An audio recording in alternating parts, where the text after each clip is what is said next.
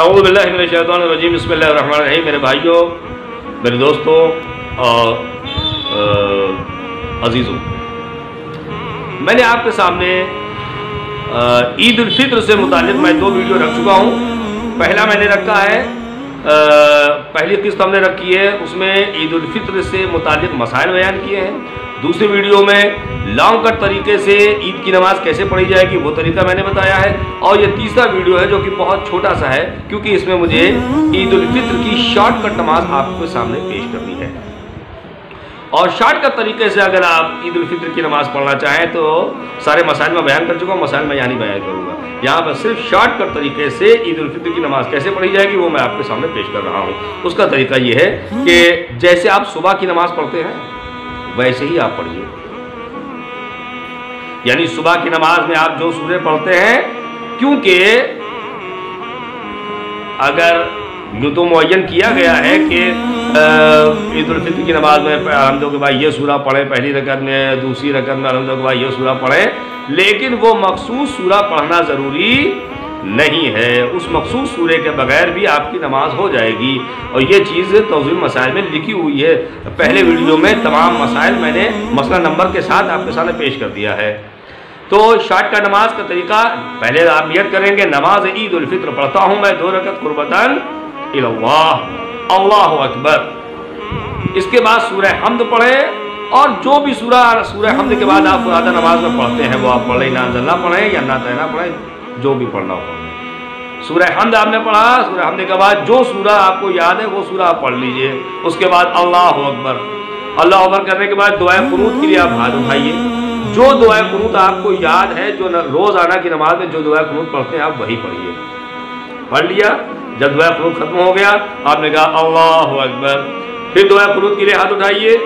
फिर जो भी आपको दुआ कुनूद याद है, आप उसी को पढ़िए। जो आप पढ़ चुके हैं, उसको भी दोहरा सकते हैं, या आपको कई दुआ कुनूद याद है तो आप यानी बदल बदल के भी पढ़ सकते हैं। जो भी दुआ कुनूद आप पढ़ना चाहें, वो पढ़ सकते हैं।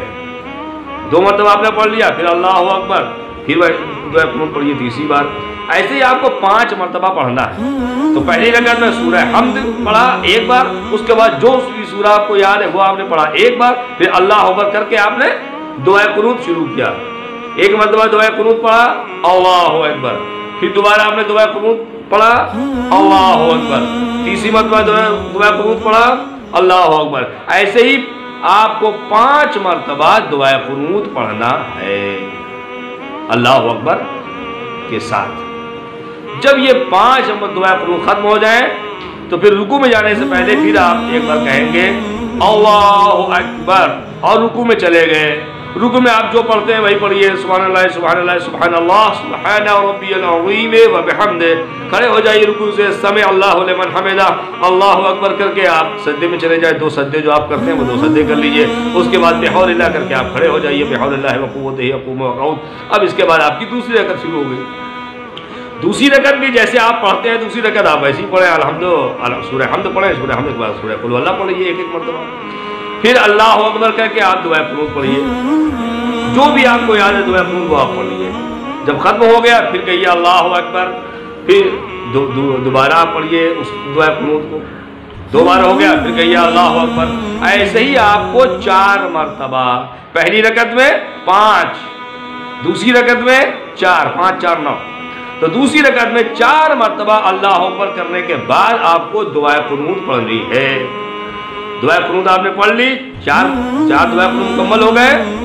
अब रुकू में आपको जाना है, रुकू में जाने से पहले एक बार अल्लाह अकबर कहेंगे, फिर आप रुकू में चले जाएँगे। चार जब कुनूत मुकम्मल हो जाएँगे, उसके बाद फिर आप कहेंगे, अल्लाह अकबर, और फिर रुकू में चले गए। रुकू में जो आप पढ़ते हैं, वो पढ़ लिए। उसके बाद समय अल्लाह हमेदा फिर सज्जे में गए तो सज्जे आपने अंजाम दिया, और फिर तशद सलाम, नमाज़ तमाम। वसलम वरहमल वर्क